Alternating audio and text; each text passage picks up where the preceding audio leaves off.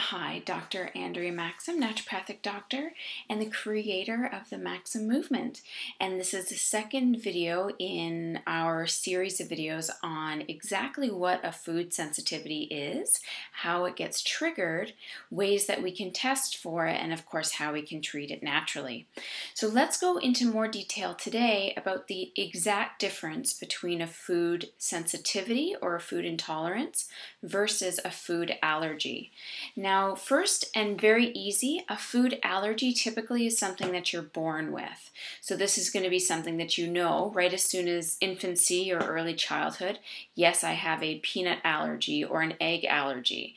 Whereas a food sensitivity is a delayed hypersensitivity reaction, meaning it could happen when you're 10 years old, 18 years old, 30 years old, it you just don't have that exact timing when it's going to occur. And usually lifestyle factors are definitely going to play a role in this, or it's just something that was bound to happen. It just happens later on in life.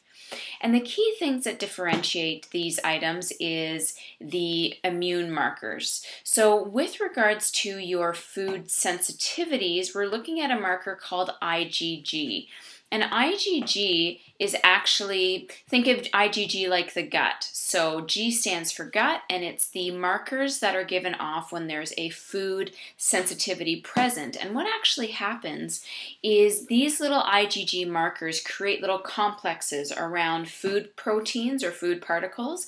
And the more and the larger these complexes get, the more they're going to sit on the intestinal tract lining and cause inflammation and therefore start causing things like leaky gut, which we'll go into further detail about. With regards to a food allergy, we're looking at a marker called IgE. IgE, think of IgE, E like excitatory. It's going to be in your face. It's almost an immediate reaction when you're exposed to something. And that will then trigger a histamine response because the cells we're looking at here are the mast cells. Um, and then it's going to cause the asthma, the itchy skin, the itchy throat, potentially severe things like um, closing of the throat or um, not able to catch your breath or even swelling that can start blocking airways. But some people will even have contact issues. So, contact dermatitis is very much a localized immune response, and this is again the IgE marker. If we're looking at things like celiac disease, we'd be looking at another marker called IgA, as well as other autoimmune markers, because celiac disease is an autoimmune condition. So therefore, we'd be looking at things like transglutaminase and other markers that are associated with that, which we'll also go into more detail in our next video. But there's also another factor that comes into play here, and these things are called epitopes. Epitopes are actually the IgE allergens, or excuse me, Epitopes are actually the allergens that are given off by different foods that creates an IgE response, but it's kind of different than the mast cell response. This is creating more of a chronic immune cell response. The chronic immune cells we're talking about here are called T cells, and we will go into further detail about that in um, our fourth video in the series. So always remember IgG, G for gut, is your food sensitivities, your delayed reaction, IgE, excitatory in your regards to breaking down the exact reaction of a food sensitivity or food intolerance, as I mentioned, it is a delayed response. So here's just a graphic to go through this one more time. It's labeled as a type 3 hypersensitivity reaction, and this is where we get those complexes forming in the blood. So I have an example here, pizza, but of course it's going to be a little less complex than that. It would either be dairy or gluten or maybe a mixture of both.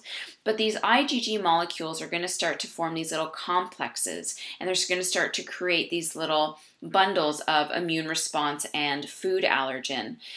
And eventually, what's going to happen is that these complexes are then going to start binding or attaching to the digestive tract lining and start causing inflammation. So, at first, they could just feel like cramping pain, maybe a bit of diarrhea, Constipation is also a very common symptom, or even just gas or bloating.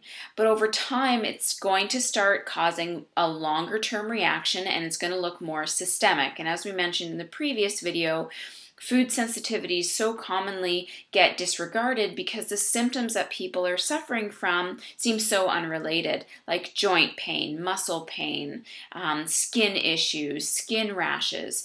And it's just not as simple to say, oh, well, every single reaction is happening localized to that particular thing. We always have to make sure that we're treating the gut first.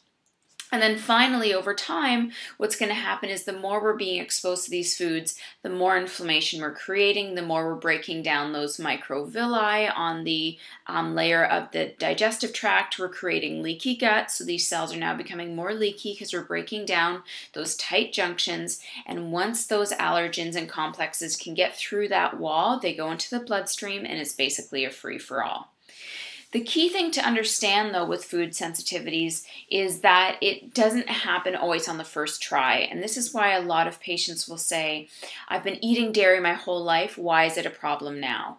Well, it's kind of an accumulative response. So you can have a little bit here, a little bit there, but it, it slowly but surely mounts in your immune system and then eventually will have a much greater response. Or when we're talking about doing um, food avoidance for four weeks and then re-challenging, the immune system has enough time to kind of regroup. So when it's reintroduced to that antigen or that food um, particle again that you have a sensitivity to, it's a boom in your face almost an immediate response, and then you can identify which foods do and do not work for you. And we'll talk about that in the next video.